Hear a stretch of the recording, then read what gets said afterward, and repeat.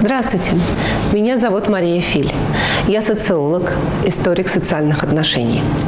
Сегодня я предлагаю вам совершить небольшую прогулку по музею Московской финансово-юридической академии «Дворянское собрание».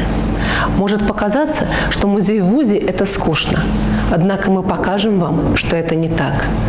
В музее собрана уникальная коллекция произведений русского и западноевропейского искусства и предметов быта, начиная с XV века. Не правда ли неожиданно для вузовской коллекции? Качеству подбора экспонатов могут позавидовать, в хорошем смысле этого слова, многие государственные и частные музеи. Экспонатов так много, что сложно выбрать самое-самое. Перед вами один из главных шедевров музея – картина Ивана Константиновича Айвазовского «Летний вечер в Крыму». Эта работа относится к раннему периоду творчества художника, к 60-м годам XIX века. И что очень важно, эта картина оказалась в составе коллекции музея в год возвращения Крыма в состав Российской Федерации. Не каждому в жизни выпадет счастье подойти так близко к самому Рубенсу. Это оригинальная работа великого мастера – сюжет распятия Христа. Картина представляет собой эскиз для большой алтарной композиции церкви святого Михаила в городе Генте. А это уже мастерская Петера Пауля Рубенса.